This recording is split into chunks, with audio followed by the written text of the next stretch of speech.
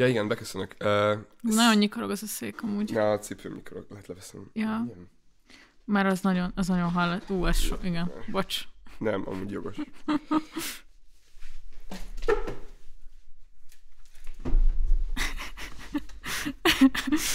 Mit vágnál teszünk amúgy?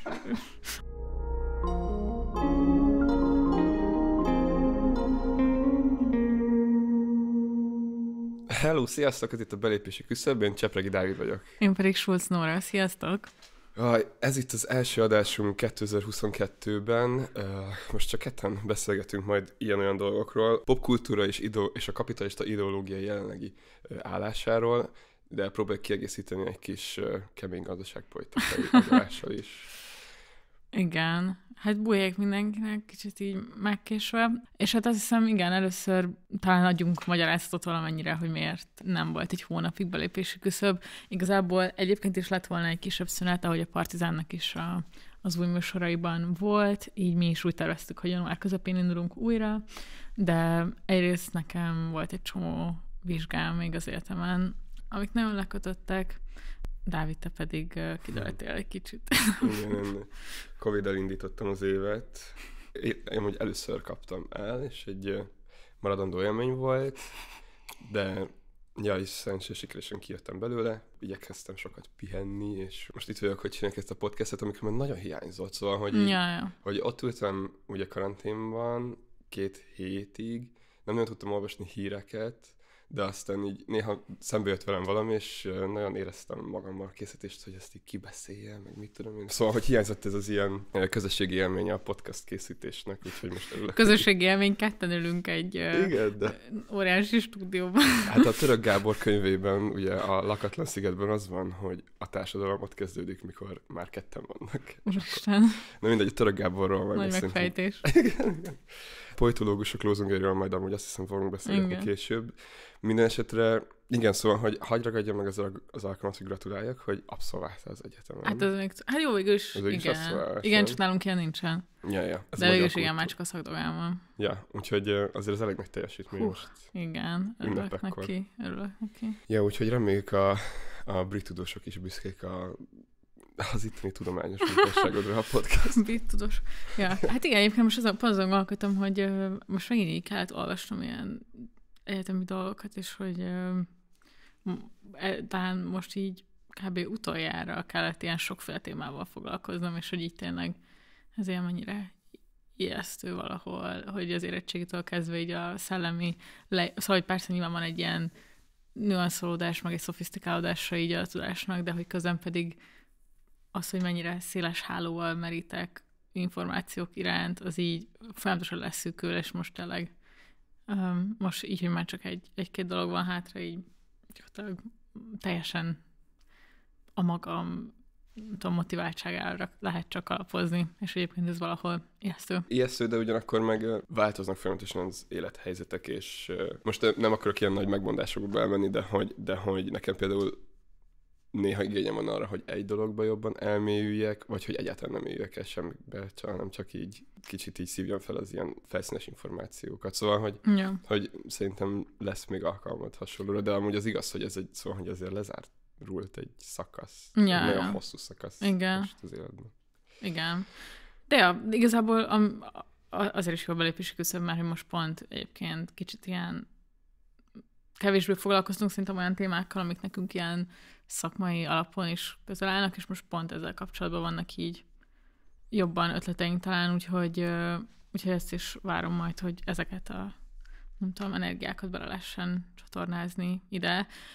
Mondjuk nyilván az is egy nehézség, hogy közön pedig az aktuál politikai, nem tudom, események nyilván nekünk is nagyon lefoglalják szerintem így a mentális térképünket, úgyhogy nyilván nagyon sokat fogunk beszélni szerintem most már, hogy így visszatérünk rendszeresen két hetente.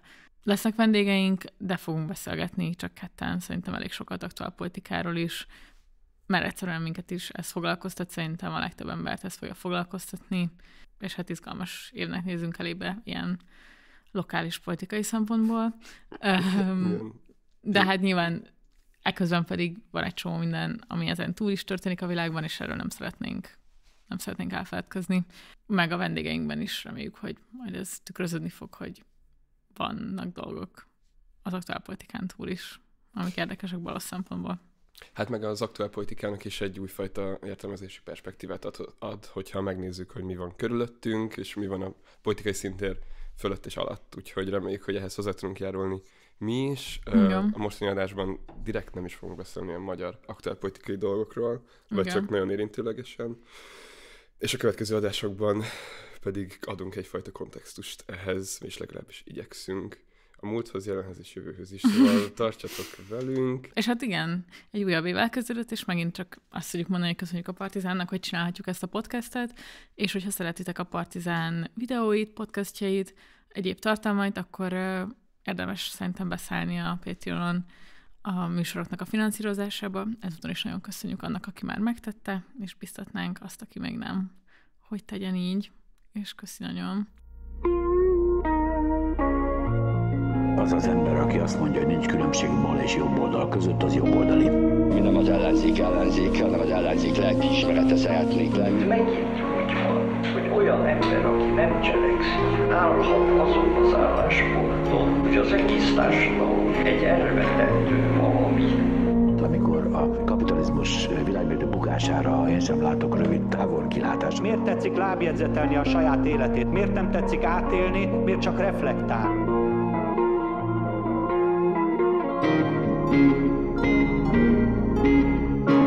És hát igazából az egyik dolog, amiről én szerettem volna így ö, ö, rentelni egyet, az ö, a karácsonyi időszakban az unokatestvéremmel néztük meg ezt a filmet, a Netflixen, a Don't Look Up, uh-huh. Ne nézz fel, magyarul, igen. igen, igen. És um, nem tudom, igazából megnéztük a trélert, és így voltunk hogy jó, az egy ilyen film, ami így ilyen állistás színészek vannak benne, meg valamennyire szórakoztatónak tűnik, jó, nyomjuk, és kb. ennyi volt.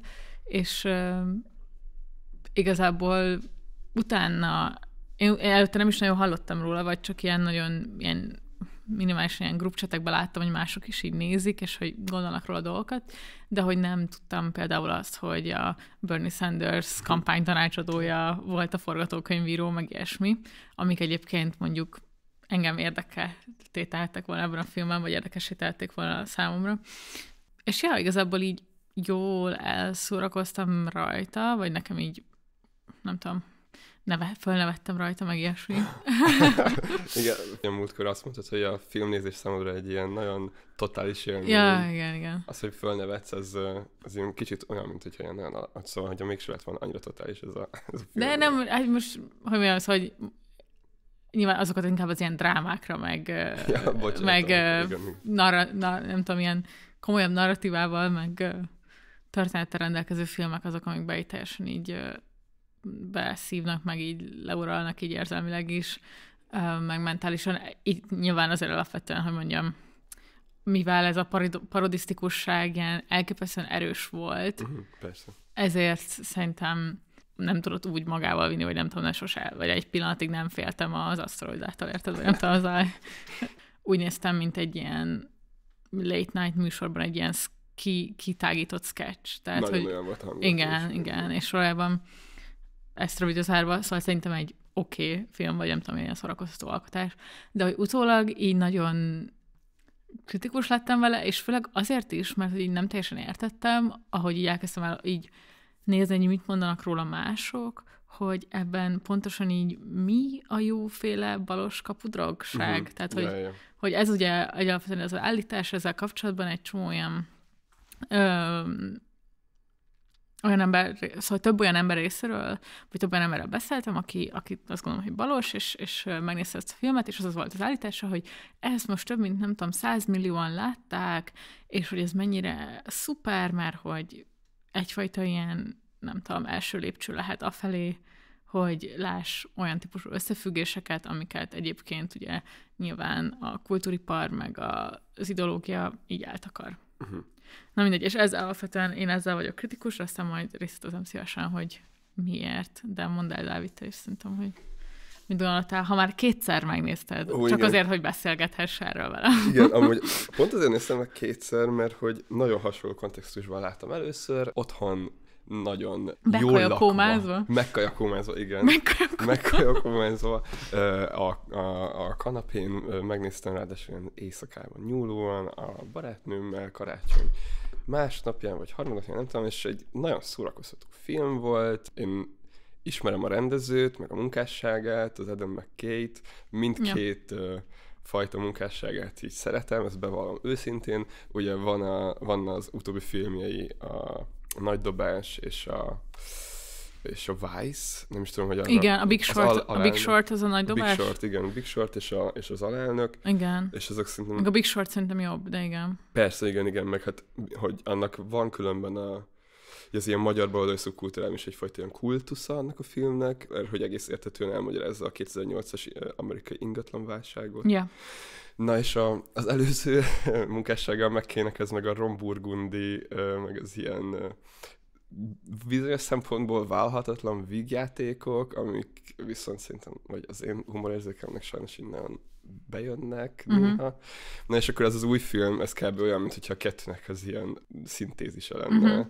hogy egy ilyen kicsit butuska vígjáték, egy politikai narratívára felfűzve. Szóval számomra ez egy ilyen tök, tök fogyasztható és ilyen élvezetes film volt. Értettem, hogy persze ez egy a fajta ilyen klímakatasztrófa, kritika vagy tudatosító, éllel rendelkező ideológiai termék, de hogy számomra az, az sokkal maradandó volt, hogy mennyire kafkaian írja le a létező politikai és tudományos intézményeknek a rendszerét, meg a médiának a rendszerét, stb.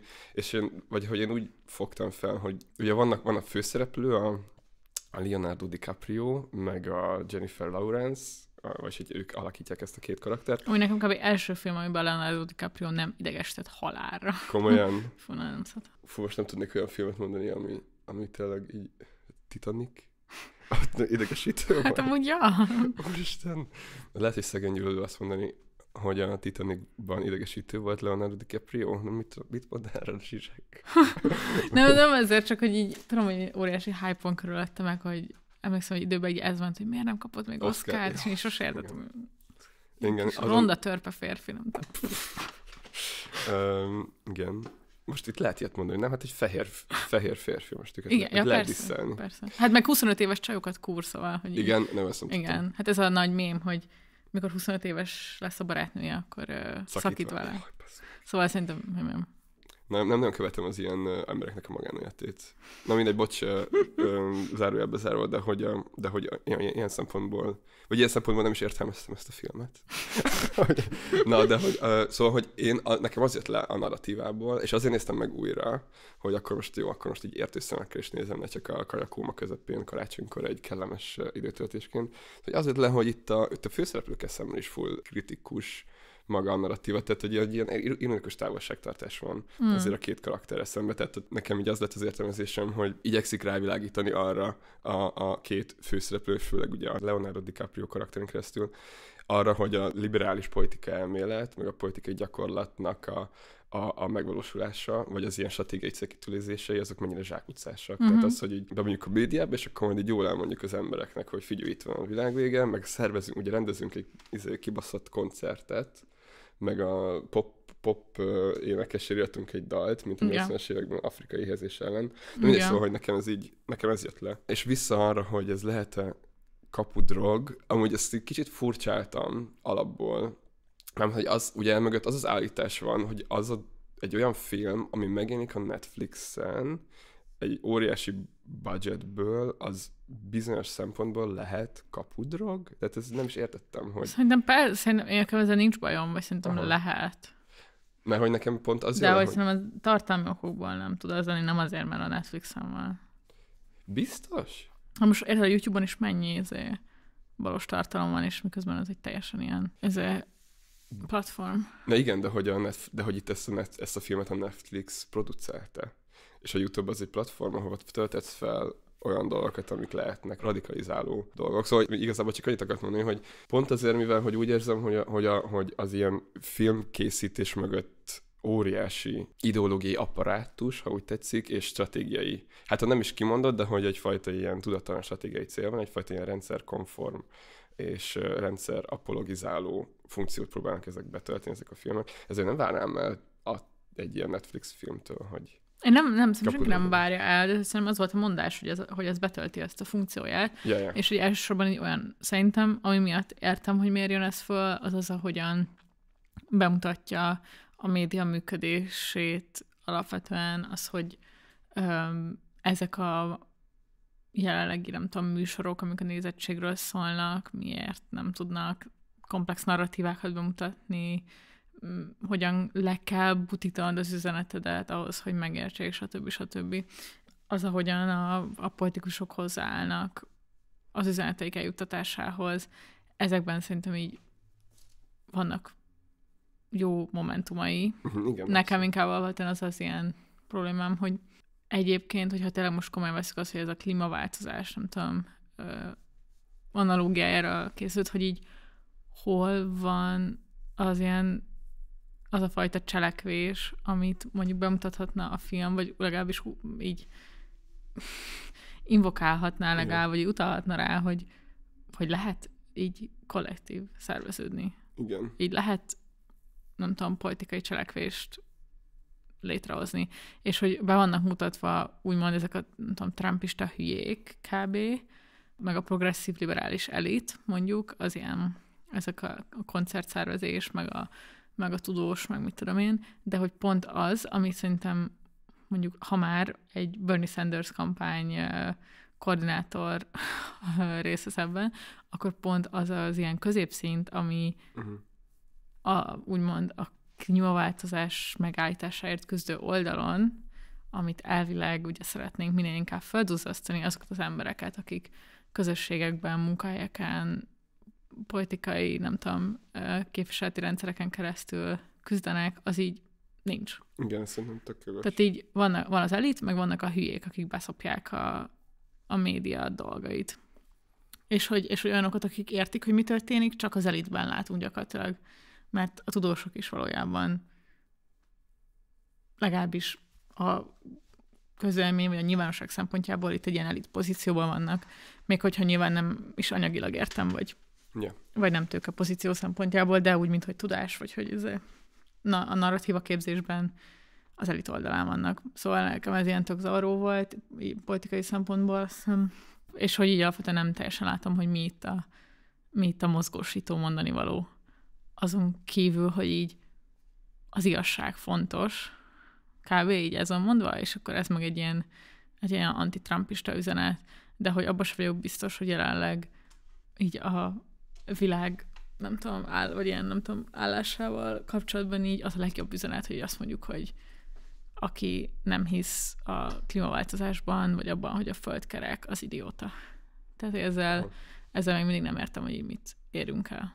Amúgy ez tényleg van szerintem, hogy dehumanizálja a republikánusokat, meg a republikánus szavazókat, de ugyanakkor szerintem a főszereplőknek a célkitűzéseivel sem ért egyet a film. Tehát abban szerintem nagyon igazad van, hogy a középszintet nem mutatja meg. És, és szerintem a film így arra vállalkozik, hogy viszont a felső szintnek a zsákutcátságát megmutassa. Vagy hogy Igen. Így, hát, és, De ennek meg igen, nagyon sokféle módja van, és Ja. pont egyébként nem idén jött ki egy csomó olyan sorozat, meg tudom, ami ilyenek, például a Fehér Lótusz, nem tudom, hogy láttad de a, mindegy, az az HBO volt egy ilyen sorozat, ami gyakorlatilag teljesen így ezzel foglalkozik, hogy így meglássuk egy ilyen, Mhm. egy ilyen elit családot, és hogy ők így, egy ilyen progresszív liberális elit családot, és hogy mennyire vakok így a világ dolgaira valójában, vagy nem tudom, szóval egy csomó ilyen módja van szerintem akkor viszont, hogy, a, hogy az elittel meg ilyen finoman foglalkozzunk, és ne csak annyi legyen mondva, hogy, hogy a tech bro, az idióta elnök, meg nem tudom kicsoda, basszák el a dolgokat. Ja, ja. Ja, ez Tehát, hogy ilyen szempontból meg az elit, elitről meg felszínesebb beszél. Volt egy karakter, aki valamennyire foglalkozott ezzel, hogy hogyan kell szerveződni, ugye az a, a Planetáris Védelmi Intézetnek az elnöke, Uh-huh. az a színesbőrű ö, doktor. Ő ott volt ilyen tüntetéseken szervezőként, mert ugye a filmben Igen, a karakter igen, ott igen. volt tüntetéseken szervezőként, úgy tűnt, hogy van valami kapcsolata az, az ugye alternatív kínai, indiai, hogy hívják ők, szóval ő így megjelenik, de hogy az a rész egyáltalán nincsen tényleg kibontva, hogy ő amúgy milyen szervezői munkát csinál valójában, Ja. hanem, hanem a, a médián keresztüli tudatosítás van a Igen. fókuszban. Igen, ami tök problémás.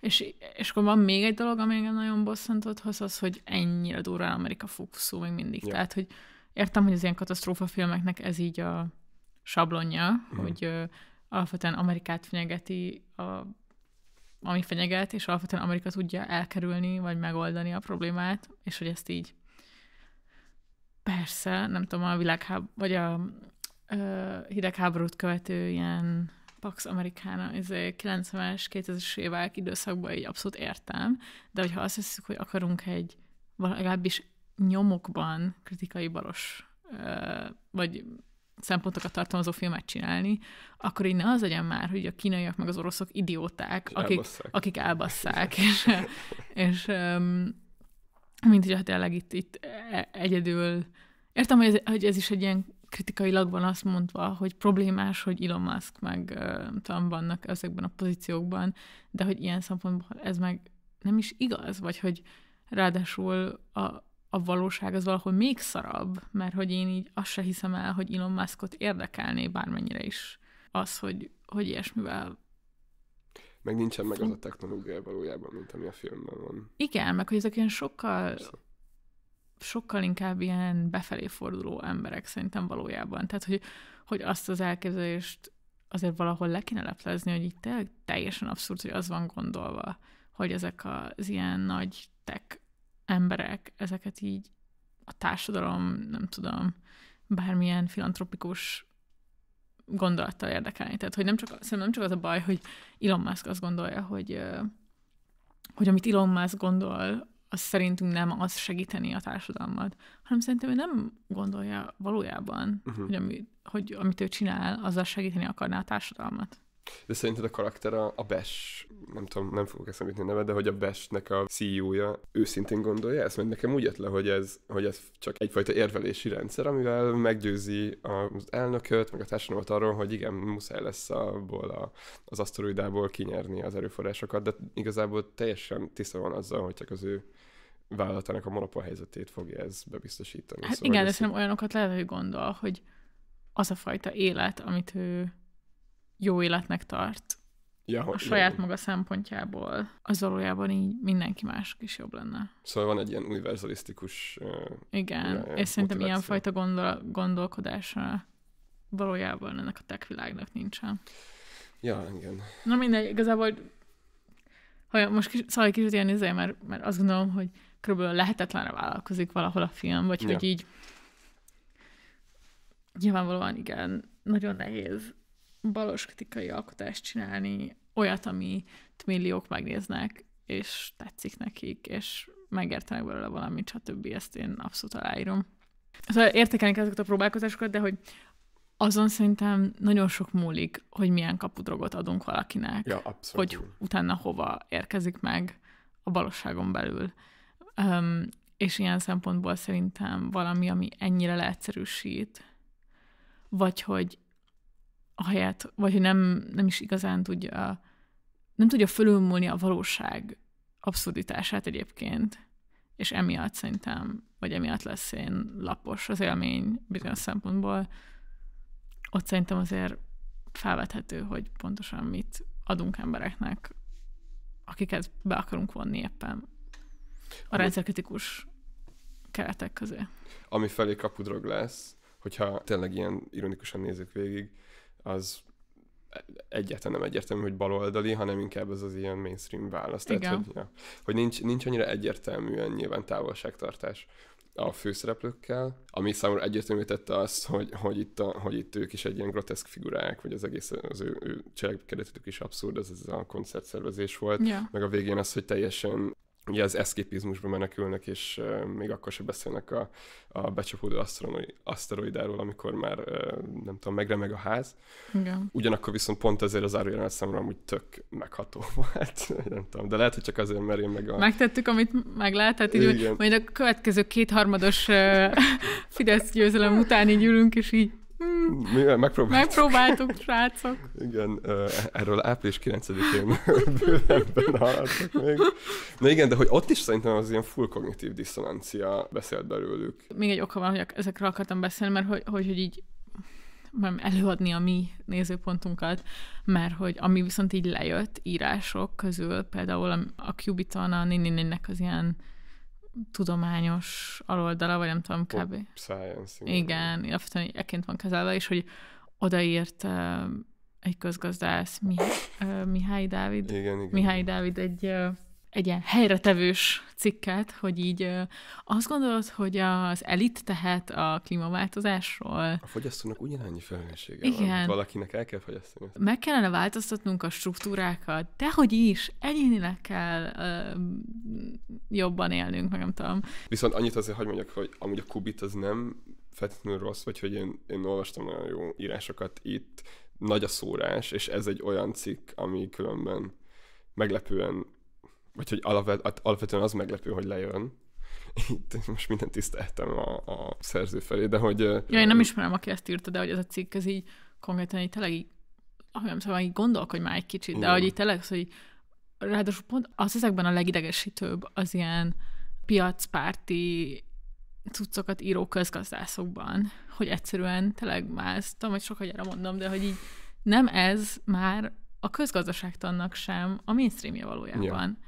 És hogy, hogy így tényleg így azokra így nem igaz, hogy nem lehet valamiféle érzékenységet mutatni magyar közgazdászoknak ezekre a változásokra. Én nem vagyok benne biztos, hogy azok az emberek követik ezt a, a közgazdász, nem tudom, szakmának. A Igen, de hogy, hogy, hogy a Cubiton pont ez van, én szerintem is tök jó oldal, de hogy és hogy ez elvileg a vállalás, hogy így a cutting edge dolgokat így Ja, ja. populárisan bemutatni. De vagy hát ez tudom. ilyen és hogy a közgazdaságtannak, ez ne, tehát, hogy ami által, és hogy ez most tényleg nem csak emiatt a cikk miatt, de hogy ez tényleg tök, többször előfordul, hogy amit közgazdaságtan alatt lehoznak, mint ilyen kúrens dolog, vagy mint ilyen izé gondolat, az így rohadtul nem az, hanem ilyen piacpárti propaganda Igen. gyakorlatilag.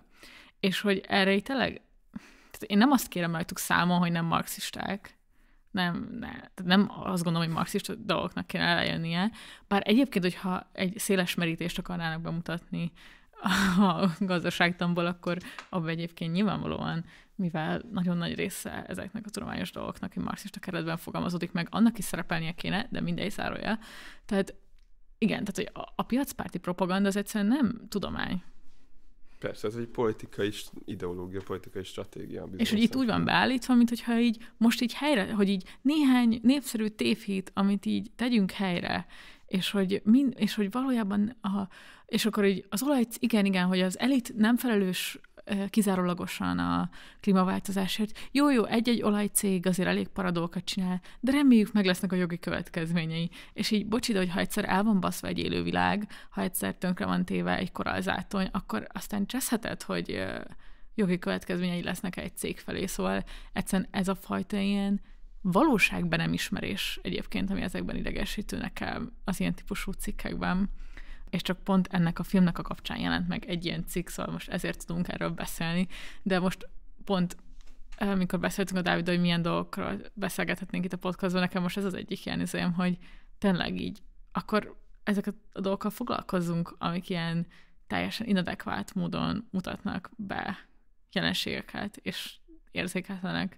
Nem csak az, hogy a balos gondolatokra, hanem a valóságra. Ja, ja. Hát a, itt a cikkben például, vagy nekem a kedvenc példám az volt, hogy a, a politikusok azért nem tudják megoldani a klímaválságot, mert nem áll érdekükben, mivel négy évente ugye választásokat tartanak, és a klímaválság megoldására irányzékolt gazdaságpolitikai intézkedések, azok népszerűtlenek. Ja, ja. És egy példával hozta fel, hogy a Macron is ugye meg akarta emelni a benzinárát Franciaországban, Igen. és mi lett belőle a sárga mellényes tüntetéseket. Most nem telt róla a szegény szerencsétlen politikus ember, hogy az emberek hülyék. És, Igen. igen. és nyilván ez abból fakad, hogy a klímaválságot a fogyasztókra próbálja terhelni. Igen. Ilyen nagyon vicces volt, amikor matematikailag próbált összeadni, hogy hát hogyha végül is a nagyvállalatok Felelősek a 27 igen, százalékért. a katonasság, a 13, izé, akkor csak 100 összejön a fölött 100. leszünk.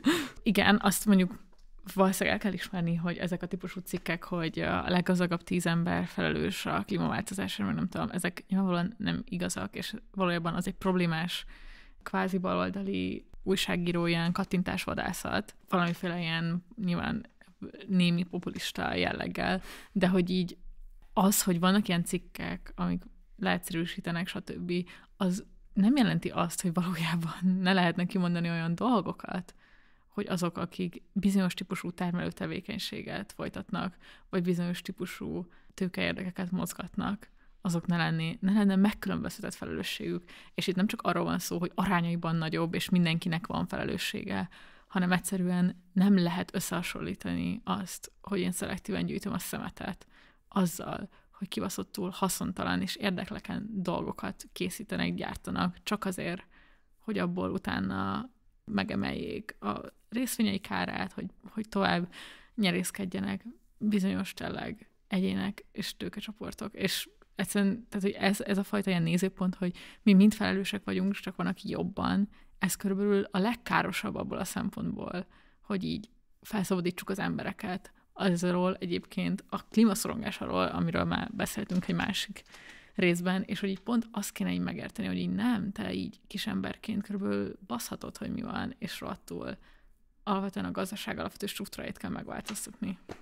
Amúgy szerinted a film mit mond arról, hogy mit mond a klímaszorongásról? Vagy hogy nekem pont az jött le, mm. hogy, hogy ugye két alternatívát nyújt, hogy az egyikben még ugye pragmatikusan a tudós megpróbálja tájékoztatni a népet arról, hogy mi lesz, mit és akkor, hogy mikor eltűnik a lehetősége annak, hogy erre egy ilyen globális, politikai, de hogy Ja, akkor a, a DiCaprio karakter. Akkor meg akkor bekattan, és csak így, és csak agresszív lesz, és ideges, és, és, és hogy, ezek, és hogy ugye... A, meg mondjuk a két Blanchett-tel szexel, szóval azért az nem lehet rossz. Ah, nagyon visszat, nekem nagyon, nagyon negatív az ő karakter ebben a filmben. Ja, negatív a karaktere, csak hogy egy jó nő. Ennyi, ennyi majd az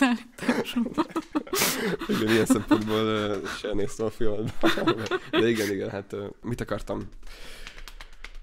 Ja, igen, szóval, hogy, hogy a Jennifer Lawrence az, aki, aki ugye a legelejétől kezdve megtestesíti a, a klímaszorongásnak a, a karakterét. Ugye Igen. rögtön meg fogunk halni, mit tudom, megőrülni, stb. Szóval így kicsit, kicsit nekem, nekem amúgy valójában ez volt az egyetlen, ami nem tetszett.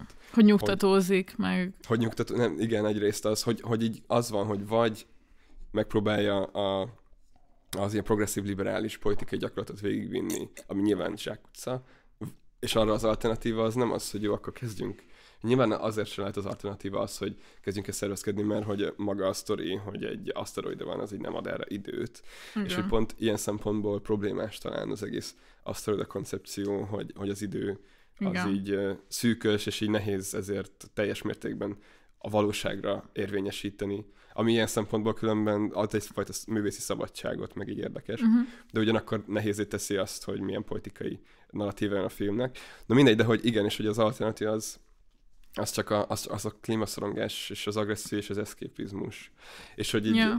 és hogy nyilván ez, ennek is van egyfajta mondani valója, hogyha tényleg ilyen írós, ironikus távolságtartásból nézzük, vagy hogyha feltételezünk egyfajta mögöttes narratívát, amit a nézőre bíz az alkotó. De, de lehet, hogy ilyen, lehet, hogy érdemesebb lenne egyértelműbben kifejteni ezt. Vagy érdemesebb lenne olyan válaszokat adni, amiből végül nem az lesz, hogy véletlenül valaki szélső jobboldali konspirációs teóriákban kezd hinni.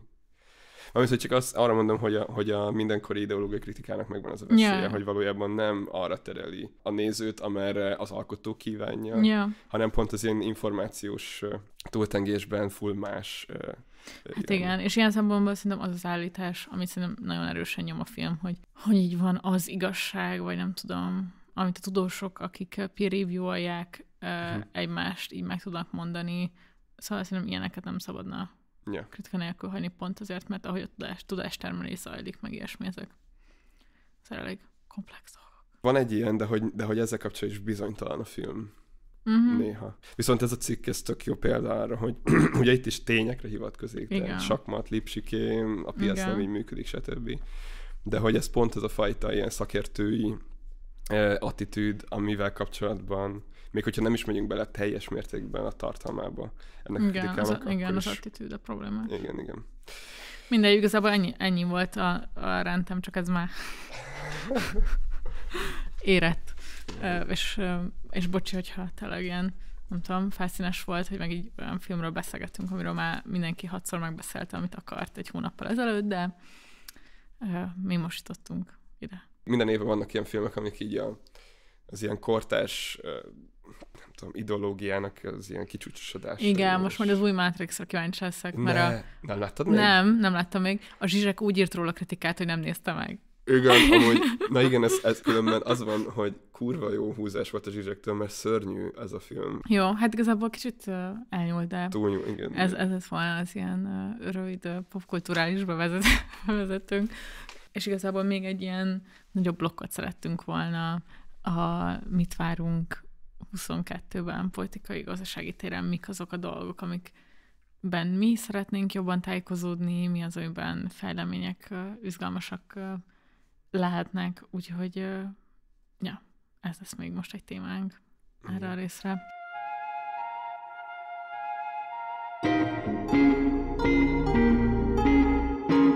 A részein elmondtuk, hogy itt kevéssé fogunk beszélni a magyar aktuál politikáról, de hogyha jól figyeltek, akkor azért itt, itt nagyon könnyen lehet áthallásokat észrevenni majd abban, hogy így mik voltak a kormány utóbbi Mm. időszak legfontosabb gazdaságpolitikai intézkedései. Igazából a legfontosabb téma az maga az energiapiac alakulása a kontinensen, és az ebből fakadó politikai-gazdasági konfliktusok a különböző szereplők között. Igen, hát ugye alapvetően ugye az, hogy most nagyon sokat beszélünk az inflációról egyébként Magyarországon is, de hogy ez nem csak egy helyi dolog, vagy nem tudom, Persze, kicsit, kicsit én úgy érzem, hogy az ilyen ellenzéki diskurzus annyira leuralja ezt, hogy az Orbánnék hibája, hogy infláció van, amiben nyilvánvalóan részben van egy igazság, vagy nem tudom, az a fajta ilyen monetáris politika, amit folytatnak, gyenge forint, stb. ezeknek vannak dolg, van Infláció erősítő I- hatása. igen, így van.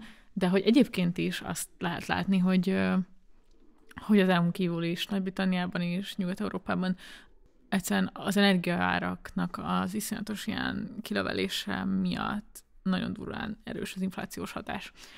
Most nem is ebbe belemenve, de hogy alapvetően az energia árak, az energia forrásoknak a kérdései így nagyon sok szinten szerintem iszonyú izgalmasak, és ilyen alultárgyaltak bizonyos szempontból. Szerintem, vagy, vagy így én nagyon nehezen tudok tájékozódni erről balos forrásokból, mert hogy alapvetően a mainstream az, ami foglalkozik vele, vagy nem tudom. A G7-en szokott lenni, szerintem tök, vagy ott szoktak lenni jó Ja, cikkek a G7 erről. abszolút, igen. Meg a Telexnek van a, mindjárt mondom, bocs, rovata, a neve, a közös, nem, nem közös nevező, bocs, ez egy másik. Nem, a G7 nagyon jó, igen. De hogy ők is szerintem ők sem balosak. Vagy nem amiatt balosak, mert balosak, hanem mert egyszerűen, ha gazdaság- gazdaságról igen. írsz precízen, akkor Akkor, akkor muszáj lesz a politikai gazdaságtant mögé tenni. Muszáj Igen. lesz megnézni, hogy hogy néznek ki a, hogy néz ki a gazdasági struktúra, meg aztán ebben hogyan ágyazódik be a Igen. politika. De a Telexnek a névérték, igen, című rovata, ami na, azt nem ismertem például. azt szerintem tök új, és amúgy az viszonylag, vagy én számomra tök izgalmas, de hát nyilván ez sem ilyen, nem, nem egy marxista elemzés. Ja, szóval, hogy ez két ilyen forrás, amihez én szoktam.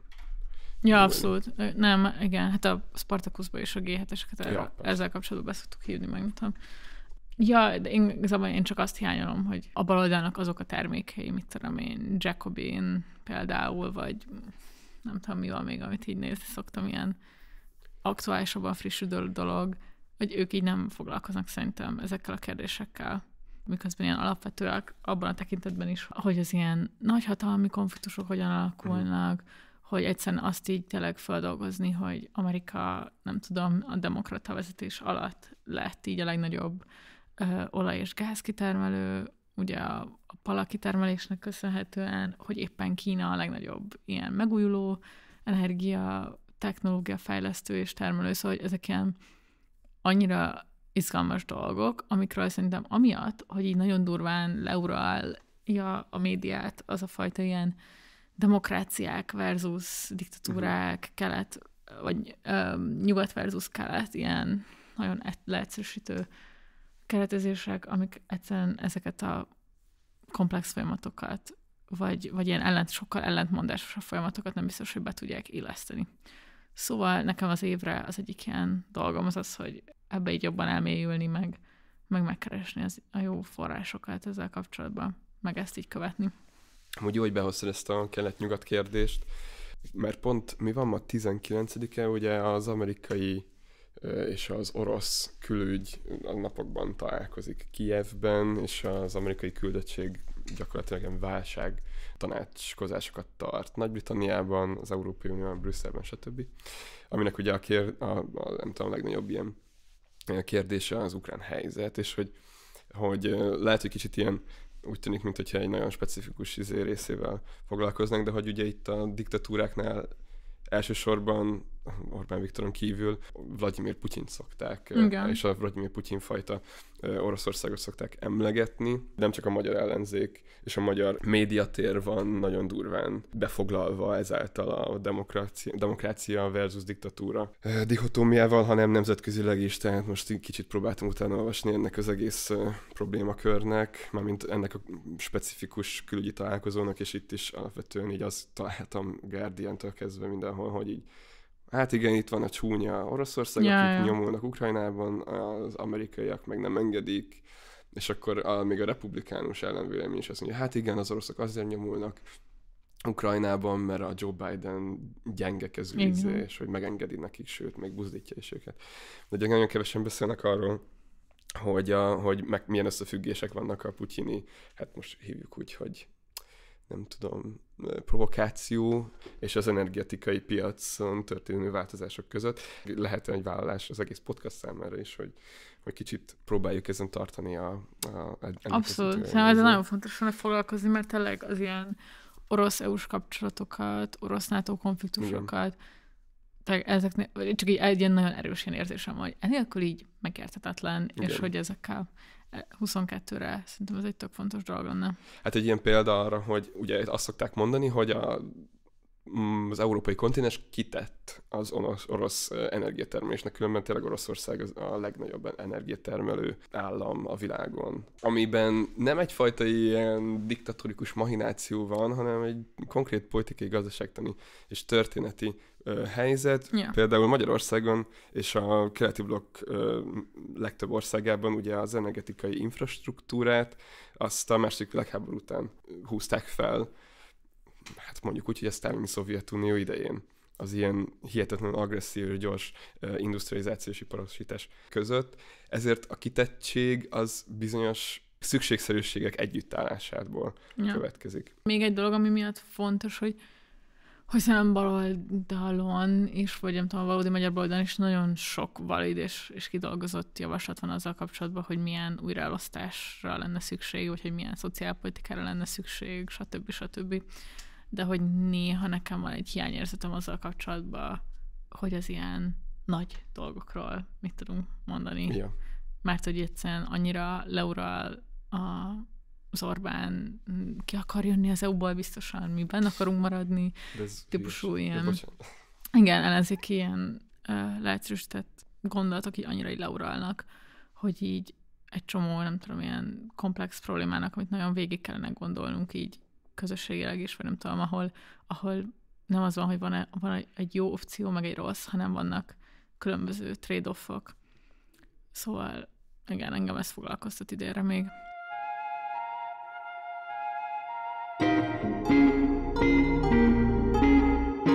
És egyébként ezzel kapcsolatban volt a másik, amiről, amiről gondoltam, hogy kíváncsi lennék, hogy mit gondolsz, hogy alapvetően azt érzem egyébként, hogy az ilyen nemzetközi baloldalnak van egy ilyen lassulása, vagy, vagy a tematizációs erejét így elvesztette a Covid járványal párhuzamosan, vagy már előtte. Alapvetően nyilván itt vannak olyan dolgok, hogy amíg volt egy szocialista vezetésű munkáspárt, amíg volt egy nagyon erős harc azért, hogy, hogy demokratikus szocialista vezetése legyen um, potenciálisan Amerikának addig nagyon durván sokat foglalkoztunk a nemzetközi baloldallal. Most nem csak az, hogy mi így ketten, hanem hogy egyébként is szerintem volt egy ilyen figyelem kifelé, vagy am, akár amikor Dél- Dél-Európában nagyon sok tüntetés volt, meg uh, új balos pártok tűntek fel, és hogy most azt érzem, hogy így ez nincs, és hogy tök nehéz egyébként ilyenfajta inspirációk, meg, meg uh, izgalmak nélkül gondolkodni azon, hogy merre tovább. Mert hogy, mert hogy azért jó a nemzetközi példák, azért jók, mert egyszer tudod azt mondani, hogy valami tetszik, valami nem, ezt így, ezt úgy, és hogy most azt érzem, hogy az ilyen nemzetközi viszonyítási pontok így kicsit eltűntek, és hogy egyébként is az nagyon sokat segített szerintem a bal- magyarországi baloldal ügyén is, hogy egyszerűen balos politikusok, meg balos gondolatok sokat pörögtek a mainstreamben is, és ez most nincs. Amúgy szerintem nem tűntek el ezek a mozgalmak, csak nincsenek a mainstreamben. Igen. Tehát itt a, például, hogyha az USA-t kicsit kibontjuk, az a- ugye most idén lesznek a midterm választások, és a, ugye a Bernie Sanders mögötti, hát nem csak a Democratic Socialist of America, hanem ugye különböző baloldali kezdeményezések jelentek meg, már ki, több, igazából a 16 környékén is, hogy ezek most lokálisan aktívak alapvetően, tehát és ezek nagyon kevéssé láthatóak Magyarországról. Érdemes hangsúlyozni a Covid-ot, és itt nem akarok ilyen nagy megmondásokba belemenni, meg bizonyos szempontból kicsit lerágott csont is az, hogy a baloldal nem igazán tudott épkézláb választ nyújtani a Covid-válságra, sem elméleti, sem gyakorlati szempontból. De hogy, de hogy azt hiszem, hogy ez nem lehet mégsem annyira elhanyagolni. Magyarországon nyilván leuralja az, a 2022-es választás a közbeszédet, és ezek ebben a fajta ilyen médiatérben, amit lehet csinálni baloldaliként, az az, hogy, a, hogy magának a pandémiának és a pandémiát visszafogni kívánó gazdasági intézkedéseknek adunk egyfajta politikai gazdaságtani kritikát, de amire itt gondolok inkább az az, hogy nem jelentek meg olyan intézmények, amelyek valós alternatívát tudnának nyújtani a, a létező állami intézményeknek. a Hát igen, hatékonytalanságával abszolút az szemben. állami egészségügy, Igen. az állami szociális háló volt az, az ami alapvetően segített az embereknek. Igen, Ahol és, segített. és ugye ezek meg azért nem voltak hatékonyak, mert hát rendkívül tők szegények Magyarországon most már. Tehát, hogy, hogy itt is azért az utóbbi egy évet az, az, az, az, az határozta meg, hogy, a, hogy ezeknek az intézményrendszereknek a, a kizsákmányoltságáról és az benne lévő embereknek a Hát kiégéséről. egyrészt, igen, másrészt meg, hogy jobboldali kormányok tudták, másrésztről pedig a saját legitimációjukra felhasználni Igen. ezeket az állami intézményeket, amiket alapvetően baloldal és a szociáldemokraták építettek fel. De hogy különben Ma- Magyarországon már hát nagyon durván képült ugye a magánegészségügyi szektor. Nem csak a Mm. tesztelésben, hanem gyakorlatilag Ja, persze. minden szempontból.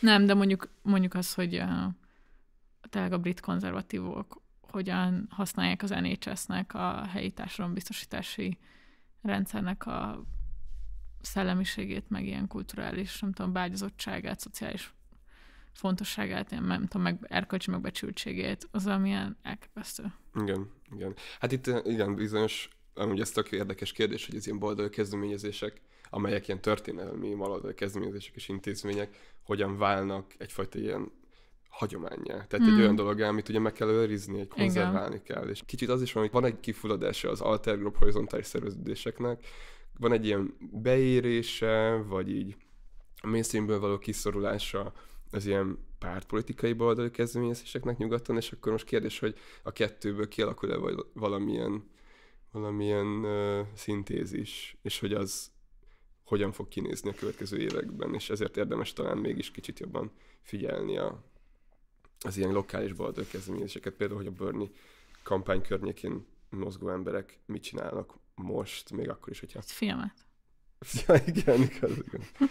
Hát azt most jól megbeszéltük, annak mi értelme van.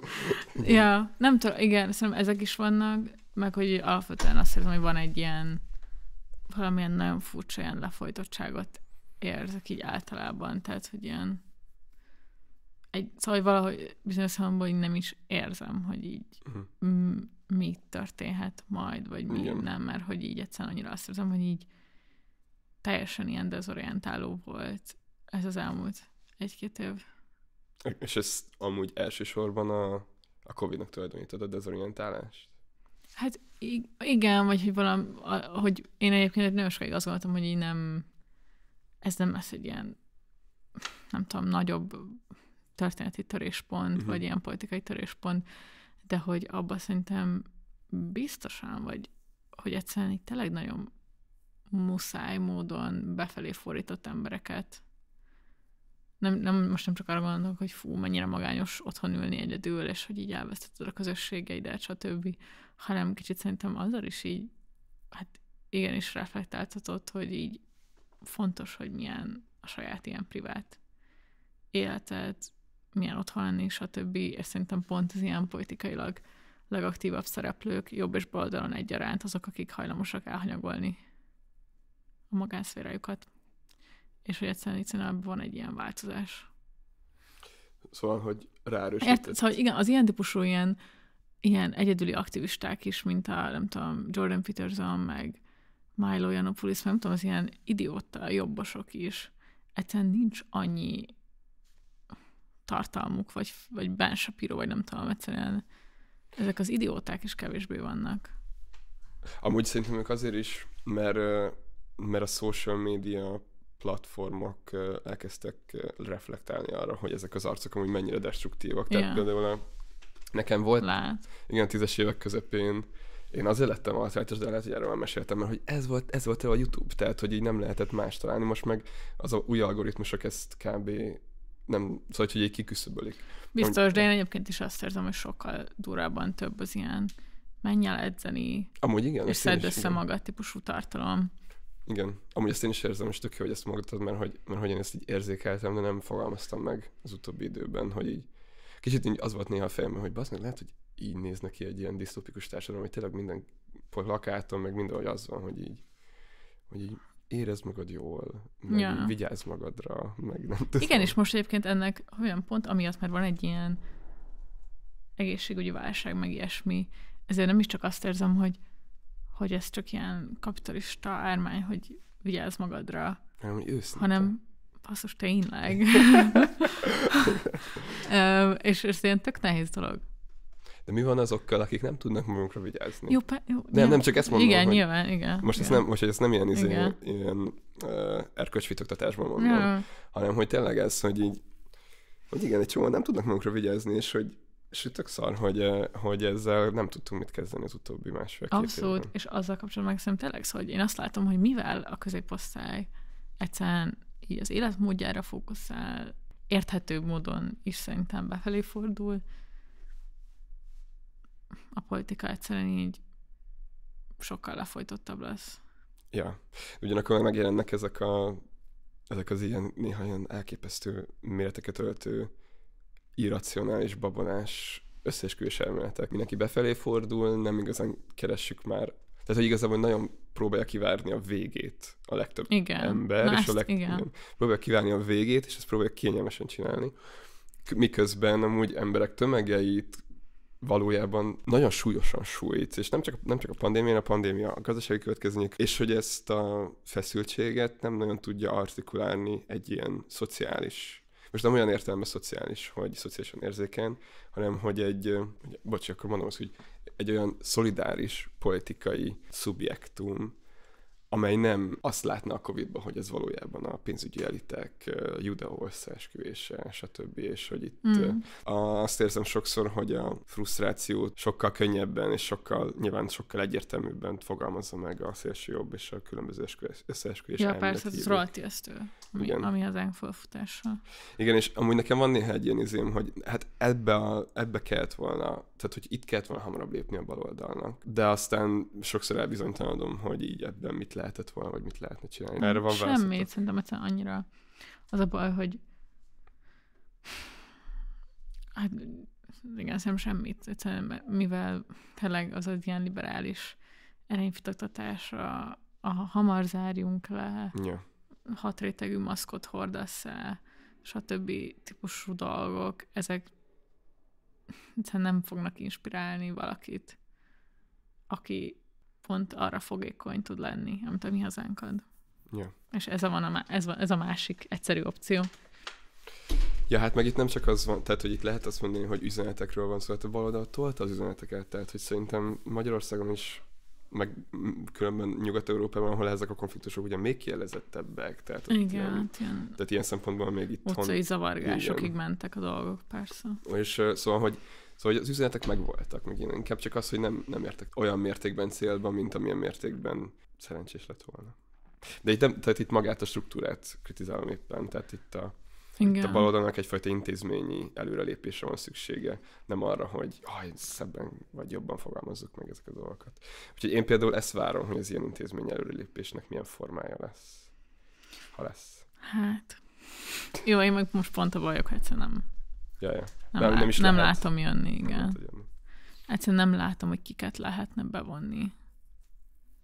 Mert annyi, igen, szóval annyira egy ilyen elfordulást érzek. Azt, azt abszolút érzem, hogy, hogy az ilyen szűkebb, közepesen tág ellenzéki aktivista közeg meg szelektek több tízezeren, több százezeren megmozdulnak egy ilyen előválasztás kapcsán, és hogy így nem akarok így vak lenni arra, hogy így van politikai mobilizáció, ami egyébként nagyon sikeres is, Mhm. de hogy azt azért érzem, hogy ez nagyon ilyen eseti. Tehát, hogy most egy ilyen utoljára próbáljuk meg hangulatot érzek Orbán leváltása kapcsán, ami hogy mondjam, hasznos, ezt az erőforrást használjuk ki, hogy így talán tényleg sikerüljön, de hogy úgy egyébként pedig szerintem az ilyen, vagy én tényleg az ilyen általános tendenciaként sokkal inkább érzem azt, hogy, hogy így egyszerűen talán a Covid járvány tapasztalata miatt is, talán egyébként is továbbra is e felé mentünk, de hogy nincs igény, vagy nem tudom, lehetőség, vagy fogalmam sincs. De hogy igen, hogy egy, egyfajta ilyen elfordulás, meg lefolytottsága van a politikai konfliktusoknak. Ja, ja, de szerintem, szerintem vannak olyan szereplők, akik, akik a stratégiai fontossága mellett tisztában vannak azzal, hogy ez nem az utolsó harc. Vagy nem ez a harc lesz a végső. Ja, Vink, vink. Na de uh, persze. azt akartam Igen. mondani, azt akartam mondani, hogy, hogy emlékszem arra a cikkre talán a Szalai Erzsitől, ami tavaly februárban jelent, nem, bocs, tavaly előtt februárban jelent meg, és ott írta, amúgy nagyon sok hasonló cikk volt akkor, de hogy így ugye ezek voltak az előrejelzések, hogy igen, most jön a pandémia, és most bevezették az első első kötelező karantént gyakorlatilag, tehát a kijárási tilalmat, meg nem tudom, és hogy ez fel fogja pörgetni az amúgy is létező atomizációs Ja, és, ja. és individualizációs folyamatokat, és most itt ülünk két évvel később, és érezzük hatásait ennek már mindenhol.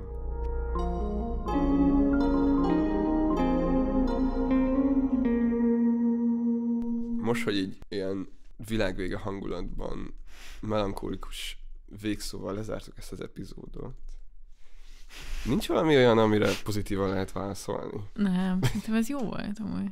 De az biztos, hogy mi itt leszünk két hét múlva, és aztán Igen. itt leszünk a választások után is.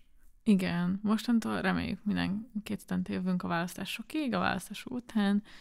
Nagyon köszi az üzeneteket, akik írtatok nekünk az elmúlt hetekben. Ja, hát kicsit azt hiszem nekünk is vissza kell rázódni a mindenféle mással foglalkozásból a műsorkészítésbe, de, de a következő rész remélhetőleg egy ilyen uh, tudományosabb Ismeretterjesztő. ismeretterjesztő rész lesz, mert amúgy én kicsit azt vettem észre, hogy ezt valamennyire várják Ja, ja. tőlünk többen, vagy hogy az ilyen jó dolog, meg engem is nagyon érdekel. Persze, hogy rettenetesen izgi dolgokat találtunk ki. Már Igen, most. Igen, nem, és, és szerintem olyan szempontból kicsit visszatérünk ahhoz az ilyen gondolathoz, hogy az ilyen központi balos fogalmakat mm, igazán így megnézni, és illetve az ilyen alapvető jobboldali mítoszokat Uh-huh.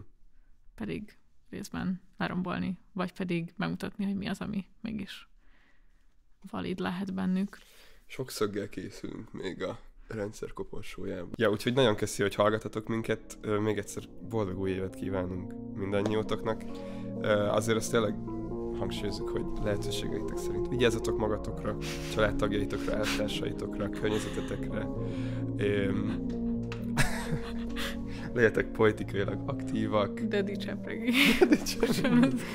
húzatok duplazok, mint húz, vegyetek fel sálat, és Igen, grandpa csepregi. amúgy szedjetek C-vitamint, Még D-vitamin. meg D-vitamint, igen.